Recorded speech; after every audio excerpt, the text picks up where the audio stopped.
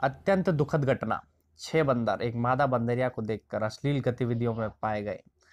हमें इनकी इस हरकतों की, इस पेरेंट हरकत की आलोचना करनी चाहिए, जैसा कि आप वीडियो में देख सकते हैं। ये क्या कर रहे हैं?